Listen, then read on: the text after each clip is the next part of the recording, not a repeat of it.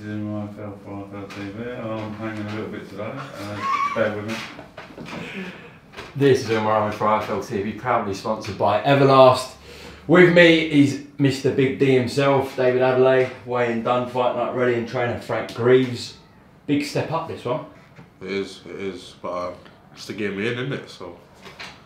Well, with all due respect to like the opponents you've been getting in, I think Frank is fair to say that you know David could have had a couple of more of them and not been criticised about it because he's so early on in his career. But why are you fighting Kamil Sokolowski now? Uh, if, if I'm honest, David's at a level that if you put them fighters in with him again, and no disrespect to the Dave Prestons of the world or the Danny Whitakers, if you put those type of fighters in front of him, he's going to blow for him in 90 seconds again, and there's just no point in that. Um, effectively, all that's going to get us is another two, three hundred rounds of sparring, more fucking wear and tear on the body. We don't need that. He's, he's more than ready for this. We've had we've sparred with multiple world champions over the last year. Um, you know, real good sparring, high quality sparring. David's been asked back multiple times by these world champions, which is clearly showing our level. Um, yeah, it's, it's it's people are saying it's a step up. For me, it's not a step up. It's just part of the progression. It's it's one of those. If you're if you're a small hall fighter without a TV contract, it's a step up. If you've got ambitions to go and win world titles, it's just part of the journey, and that's all it is. It's just another fight. Okay. Do you view it like that as well, David? yeah, Kamil exactly. isn't a step up. I mean, obviously he's a step up because he's better than my than my last opponents. But um, I mean, there's nothing. It's not a step up re- in reality because I've been there, done that. I've done it in the amateurs. I've done it in sparring. You know, um, nothing having experience. Mm. So uh, it's just another fight for me. Have you seen much of Kamil? Not really. Just just just uh, you know his fights. He's he's won. He's lost. Just watch on YouTube to be fair, but. I'm not one. I'm not one to really study opponents because you can go in there, study them, and on fight night they can be com- completely different. So Mm. I don't really watch it. Okay, fair enough. Well, what are you expecting from him tomorrow night? I'm expecting him to bring it. He's probably gonna uh, make me do a few rounds. Um, I mean, I can do the rounds. Um, my fitness is there, so uh, yeah, it's not really a problem. Do you want that to be the case as well, Frank? Do you want to actually see David in some rounds tomorrow? Uh, ideally, it'd be nice. Um, as far as I'm concerned, it's a win-win-win situation, right? So we go in there. If we get a few rounds under our belt, great. I mean, the the fact is that David's had five fights so far, and we've barely completed seven rounds. So I haven't had much time to talk to him in between rounds, and that that situation there, that that that minute that you get in between rounds, you can't really recreate that anywhere else. You know, you do it in sparring to a degree, but sparring's different. Um, so yeah, ideally we, we want a few rounds, but you know if he goes out there and does him in a round or two, that's great. That makes a statement because no one no one else has done that. Um, if we get six rounds out, that's great too. I, I've, I've got no sort of I've got a, I've got my own preconceived idea of how the fight goes. Um, but I've got no preference either way. If we get the rounds in, great. If if we knock him out early, that's great too. I don't know if you've seen because obviously you're just focusing on, on fight week, etc. But um, it's really gone down well on social media. Like people are, are praising you for, for taking this fight. I'm, I'm sure you would have seen a few comments like that, David. Uh, yes and no. I've seen a few comments. At the same time, I'm not really looking at it because you know, social media, is social media, isn't it? So, uh, but yeah, I've seen a few things. My phone's been buzzing, but know, as you see, I just left my phone. I don't really use it. I don't really go on it. So, yeah. Well, as I said, I think you could have easily had a couple of more fights like like you have been doing and, and not really been criticised for it. Um, however, like people like Nathan Gorman have said, David needs to box someone like a Kamil Sokolowski. Actually, he named him. So the fact that you're doing that so soon after saying that, proving what you're all about. Yeah, hundred percent. And uh, Nathan's saying that. I think Nathan just trying to say something to try and prolong the fight. Nathan seen me in the gym, mate, when nobody's there, and he seen me sparring. Do you know what I mean? So I don't really need to prove myself to him. You know, it's just about proving myself to everyone else. Um, but yeah, like I said, it's not going to be nothing I haven't experienced before. You know, two men going in there, going at it. You know, uh, if he had four hands, three hands, maybe I'll be worried. But just another man like me. Obviously, after your last performance, which was a short night of work, I spoke to you and you know we talked about Nathan, and then he went in there the other night, uh, the night straight after, and, and put on a really, really good display. Uh, what did you think about it? good performance. Um, we wanted that fight with uh, Pavel Pavel Sal. Sal. we wanted a fight with him as well. He was gonna take that, um, just to show levels, but obviously he weren't available. So yeah, Frank, what did you think of it? Did you see much Yeah, yeah. I, to Nathan? I, I actually uh, I was sitting ringside for it. I was as a cut man on that show. Oh. So uh, so I sat literally ringside and watched it. Yeah, yeah. Look, listen, all credit to him. Um, Sauer was pretty tough in terms of not his punch resistance as such, but he kept getting up, um, kept swinging back.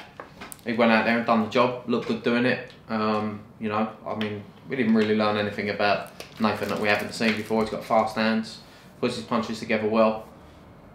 Nice stiff, solid jab. You know, it was not, it was nothing new. Um, but obviously, getting the guy out as early as he did and dropping him five times or whatever was a good performance. Um, yeah, again, as I say, look, it, it's, it's one of those for me with David, right? So, so I'm in the gym with him every day. I see him in sparring, see the people that we're sparring and what we're doing, and it's it's a natural progression as far as I'm concerned. This fight is a natural progression. I would happily go and box for the area title next time out, box for the English title by the end of the year, you know, box for the British early next year, go and beat the Pavel Salvas of this world. There's there's countless Europeans that have got those kind of records. Um, so you can't get that 12 round experience. Which again, this is this is going to be a good yardstick for where we're at right now. You know, if David's if ultimately if David's ambition was to go and fight for the Southern Area title, you probably don't fight Kamil Sokolowski right now. You can fight another two or three knockover jobs. You know, you can get to eight, nine, and zero with eight stoppages and go and fight for the area title, and that's your world title. But that's not what we're in the game for. That's not what he's in the game for. Um, so yeah, it's just a natural progression, and, and, and that's it. It's not to say that he's a step up. It's not to say we're taking him lightly because we're not. We don't take anyone lightly. They're big men with ten ounce gloves on. There's there's there's no uh, there's no corners cut. There's there's no sort of uh, complacency. We know that he's going to be made to work harder than he's been been made to work so far by the opponents that he's been in with. But that's not an issue. We've done the rounds. We know we can do the rounds if needs be. And as I say, if he bangs him out early, it makes a statement. simple. What do you think about Dave Allen potentially getting back in the mix? Credit to him, mate. Do you know what I mean? I was saying to someone yesterday, I'm not really. You know what it is? I'll be honest. I don't want to be the boxer that's calling everyone out at the beginning of my career. I feel like every time I do an interview, they ask about another fighter and stuff, and it's like, look, I've got my own sort of path. I'm gonna follow my path, stay my lane, and do what I do. Um, because every time they do mention my name, they'll be mentioning another fighter with me. Oh, David called out so and so. So, you know, look, credit to to Alan. He's gonna do what he's gonna do, and you know, if our paths collide, then so be it. I did ask because you made some comments earlier this week that went around like on email um, from from Queensberry, so that's why I bought Dave Allen up. Yeah, no, they they uh, who asked me? Probably Dev, right? No, it was before that. It was last week. I got in, I had an interview. They said, "I what do you think of Dave Allen?" I'm like, "Good fighter." Like you know, they said, "Would you fight him?" I'm like, "Obviously, if his if his name got put forward to me, I'll take it." But he said he's coming back to do four unders, or he's coming back to do six unders. So I said, by the time he does probably get offered to me, I'll be on eight and ten rounders. So it probably wouldn't happen. But if it did happen, I'll definitely take it. And the next thing you know, I'm, it's all clickbait. The media's all talking about, oh, David Adeleye's called out so and so. So, I mean, look, it's like I said, everything's experience, isn't it? Um, and I'm starting to learn now that look, these people are gonna bloody take words out of your mouth and try and put it a certain way for for um, headlines. So look, man, let Dave Allen do what he's doing. If his name gets put forward to me, I'll take it. Okay. Right. What do you think about the recent wins of um, Fabio Wardley and also Nick Webb stopping Erik Pfeifer? Did you catch any of them? I watched it. Uh, both did what they had to do. I mean, look, the referee stopped both contests, so it's not really the fighters' fault or their job to do anything. They just go out and do what they got to do. And both had a good performance. I heard they might be fighting each other now. That's a good fight. I'll be watching that fight. I think, I think that'll be real interesting. You ever going to give me a Joshua Fury prediction? Never. Not until I get yours. So what's yours? Tell you after. No, no, no. you see what I'm saying? What's your prediction? Actually, I want to know what, what your prediction is. David like best of luck tomorrow night.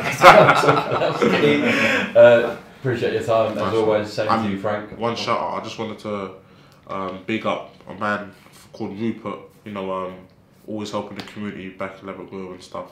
Um, supporting Grenfell. You know, um, justice for them. Oh, just before we go, actually, obviously BT put out a thing with you, Hamzah Sheeraz, Dennis McCann, Willy Hutchinson, and I don't want to forget someone. Who was the other one? Denzel Bentley. Denzel Bentley, obviously fighting like tomorrow night. But what we. You're fucking mate. He said there's another one. I don't think.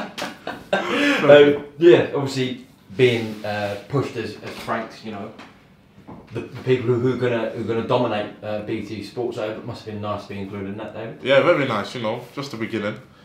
Climb up the ladders, and uh, this is why we do what we do, isn't it? You know, to go all the way. So um, I'm grateful they see the talent in me, and uh, it's just for me to go out there and prove it. To be fair, Tommy Fury was in that as well. Oh yeah, yeah, he was. Yeah, yeah. Was he? right. Yeah, yeah, he was. Yeah. The six of Yeah. you, yeah. Yeah. Listen, D- David, best of luck tomorrow night. Same with you, Frank, and uh, we'll talk after the fight, alright? Pleasure, man. Definitely. Nice one.